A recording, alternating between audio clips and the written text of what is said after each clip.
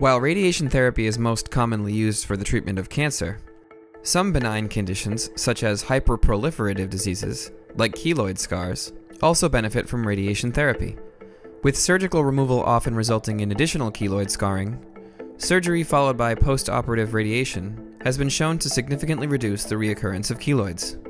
On September 17, 2020, Dr. Richard Shaffer with Genesis Care presented the utilization and benefits of using low voltage X rays to treat keloid scars.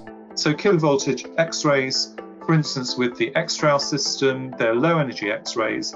And uh, whilst they can treat large lesions, they're also very, very good at treating small lesions. So you can see here, this is not a keloid scar. There's, there's a small lesion on the tip of someone's nose, and that's very, very easily treated with uh, a kilovoltage system.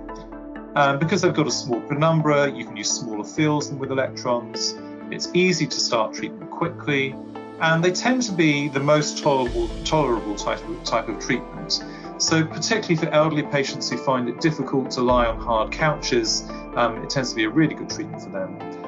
We know that excision al- alone, perhaps on average, gets you approximately a 70% uh, recurrence rate, let's say between 45 and 100%.